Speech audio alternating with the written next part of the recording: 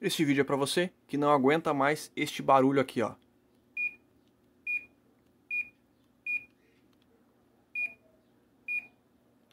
Então, roda a vinheta e bora pro vídeo.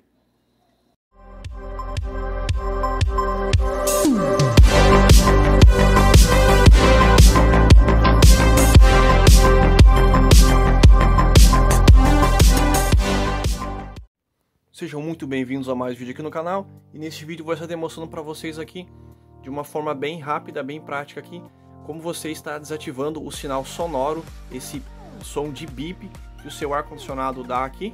Vou estar ligando ele aqui, vou estar mostrando para vocês aqui o som que eu estou me referindo. Vou apertar aqui qualquer tecla, vou apertar aqui a tecla de temperatura. Note esse som. Esse vídeo vale somente para ar-condicionados aí Samsung, tá pessoal? Para quem utiliza este modelo de controle remoto aqui.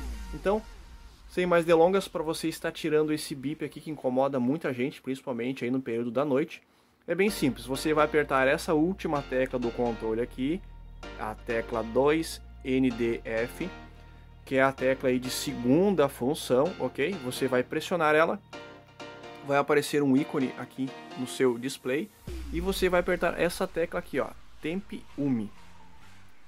Note que ele deu um bip e ele já diz aqui embaixo aqui, ó, bip off. Todas essas teclas aqui, ó, você só consegue que está escrito aqui em preto embaixo, são segundas funções do controle, tá? Para você ativar elas aqui, a parte aqui do reset, a parte do display, você vai estar utilizando essa segunda tecla aqui de função. Vamos ver se realmente funcionou aqui então. Vou apertar aqui temperatura. Ó, tá subindo a temperatura. Note que ele não dá mais o bip. E se eu quiser ativar o bip novamente, então aperta a tecla segunda função e aperta a tecla bip off, que é a tecla temp umi. Ele deu um bip. Vamos ver se voltou normal aqui. Então, resolvido aqui. Então, pessoal, dada a dica aí, como retirar aí o bip do seu ar condicionado Samsung. Dica bem rápida, bem prática aí. Se você não é inscrito aqui no canalzinho, não deixe de estar inscrevendo para estar ajudando a gente aí a crescer, a trazer cada vez mais vídeos, mais dicas, mais tutoriais.